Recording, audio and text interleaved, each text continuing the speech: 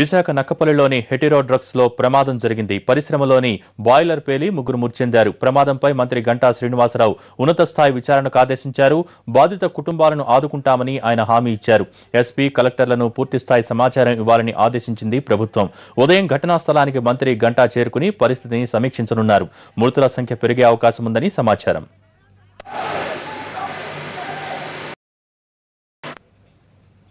విశాఖలోని Hetero drugs గోడౌన్లో reactor పేలింది. ఈ ఘటనతో ఉద్యోగులు ఆందోళనకు దిగారు. దీనికి సంబంధించి మరిన్ని వివరాలు మా ప్రతినిధి రవిచంద్ర అందిస్తారు. రవిచంద్ర హెటిరో డ్రగ్స్ ఫ్యాక్టరీ దగ్గర తాజా పరిస్థితి ఏంటి?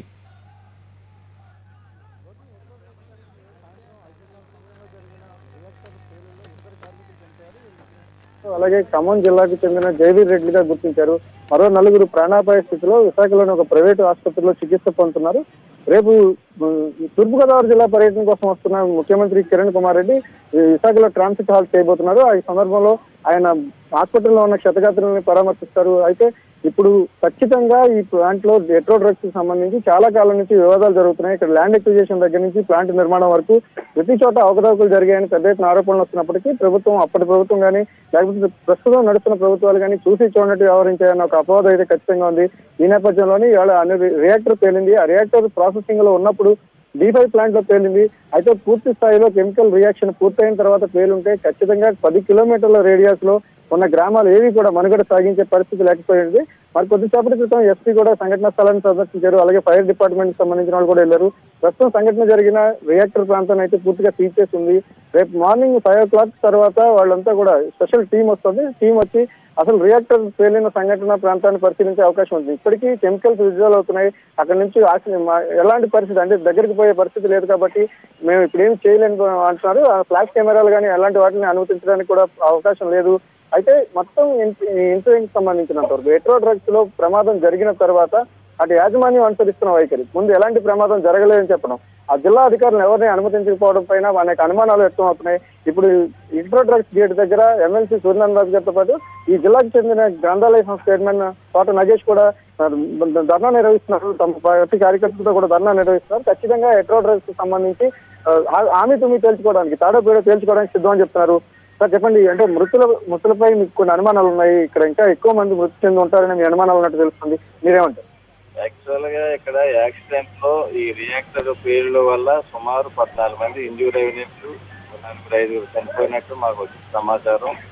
అలాగే ముఖ్యంగా ఈ మీడియా కూడా ఇమీడియట్గా స్పందించడం వల్ల ఇది బయట ప్రపంచానికి తెలిసింది. లేకపోతే ఇక్కడ ఏం జరుగుతుందో గత కొన్నాళ్ళుగా ఇక్కడ ముప్పై నలభై మంది చనిపోవడం జరిగింది. ఇలాగే దాంట్లో వీళ్ళు ప్రముఖమైన తప్పుడు పని చేశాడన్న దానికి నిదర్శనం. ఇక్కడ చనిపోయిన ఆ కెమిస్టులని కూడా డెడ్ బాడీస్ ఎటువంటి పర్మిషన్లు కానీ పంచనామా కానీ పోలీసుకి వివరాలు కానీ తెలియపరచకుండా ఇమీడియట్గా వాళ్ళు తరలించేశారు కాబట్టి దీని మీద పూర్తి అనుమానాలు ఉన్నాయి. ఈ కంపెనీ మీద గత కొన్నాళ్ళుగా ఎన్నో ఈ ప్రాంతంలో నివసించే వాళ్ళు దీని మీద పోరాటాలు చేస్తున్నారు. కానీ ప్రభుత్వం నుంచి కానీ ముఖ్యంగా ఇక్కడ పొల్యూషన్ కంట్రోల్ బోర్డు కానీ లేదంటే వాళ్ళు ప్రికాషన్స్ కొన్ని తీసుకోవాలి. ఈ కంపెనీ యొక్క జాగ్రత్తలు ఈ కెమికల్స్ ఇండస్ట్రీస్ అన్నది జాగ్రత్తలు తీసుకోవాలి. అవి ఏమీ కూడా పాటిస్తలేదు ముఖ్యంగా దానికి నిదర్శనమే ఇక్కడ మూడు షిఫ్ట్లు జరుగుతుంది సుమారు నాలుగు వేల మంది ఎంప్లాయ్మెంట్స్ ఉంటాయి. ఈ మూడు షిఫ్ట్లలోని కూడా ఇద్దరు డాక్టర్లు ఉన్నారు. వాళ్ళిద్దరూ కూడా విశాఖపట్నం స్టిల్ ఈవేళ కూడా ఇక్కడ వాళ్ళు లేరు. కాబట్టి ఇవన్నీ వాటి మీద మాకు అనుమానం వస్తుంది కాబట్టి ఎమ్మెల్సీ గారు మేము కానీ మిగతా పార్టీలు అందరూ కూడా డిమాండ్ చేసింది ఏంటంటే ఇవన్నిటి మీద కూడా ఇటు ఏళ్ళు సేఫ్టీ బెల్ట్ ఏ విధంగా చర్యలు తీసుకుంటున్నారు ఏదైనా ప్రమాదం జరిగితే.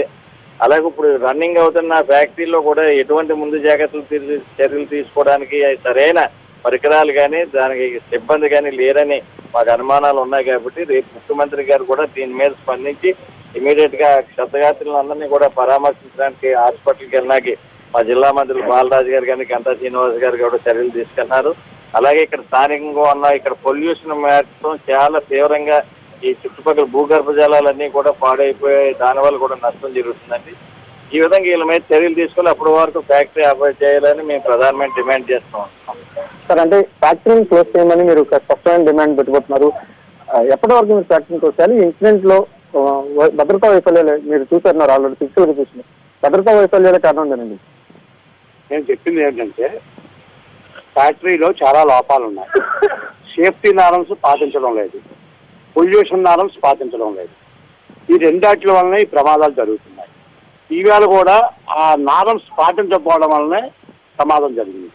అందుకు మా డిమాండ్ ప్రధాన డిమాండ్ ఏమిటంటే ముఖ్యంగా ముందు ఫ్యాక్టరీని క్లోజ్ చేసి స్టాప్ చేసి తరువాత ఈ pollution control board safety measures చూసేవాళ్ళు వచ్చి గవర్నమెంట్ ఫుల్ దీనికి పర్మిషన్ మళ్ళీ ఇచ్చి ఇచ్చిన దాకా కూడా ఈ ఫ్యాక్టరీని రన్ చేయకూడదని మేము డిమాండ్ చేస్తున్నాం.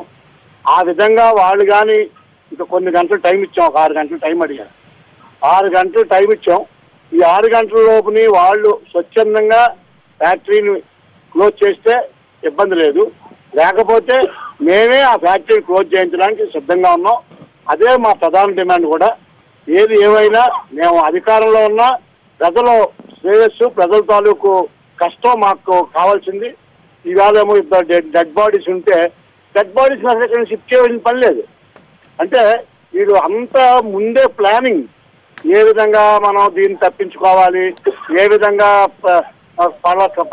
కంటిలో పడకూడదు అని తప్పుడు ఉద్దేశంతో ఉన్నారు. ఒక ఇద్దరు చచ్చిపోతే ఆ ఫ్యాక్టరీని సింపతి కొలైనా సరే ఆపాలి. అది కూడా చేయలేదు డాక్టర్స్ లేరు సేఫ్టీ మెజర్స్ సరిగా లేవు. పొల్యూషన్ ఆల్రెడీ నేను ఈ గ్రామాల్లో పర్యటించినప్పుడు మా చాలా గ్రామాల్లో ఈ పొల్యూషన్ మాకు చాలా ఇబ్బందిగా ఉందండి. వాటర్ పొల్యూషన్ అయింది. ఇవన్నీ అయ్యాయి. దీనికి మీరు దీని మీద చెయ్యండి అంటే ఇవన్నీ లెటర్స్ కూడా నా లెటర్ యాడ్ మీద రాసి పొల్యూషన్ కంట్రోల్ బోర్డుకి రాయడం జరిగింది నేను. ఇప్పుడు వరకు వాళ్ళు కూడా ఏమీ యాక్షన్ తీసుకోలేదు. ప్రభుత్వ పరంగా పూర్తిగా దీని మీద చెక్ చేయించి దీని మీద ఏమో పూర్తిగా చేసి చేయమని రేపు సీఎం గారిని కూడా డిమాండ్ చేయదలుచుకున్నాం.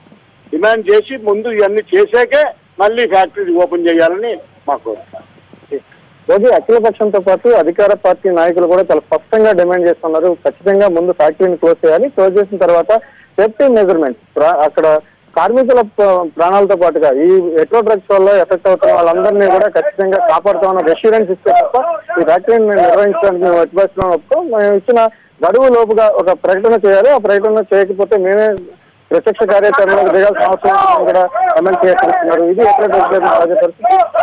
వార్త హైదరాబాద్. Thank you Ravichandra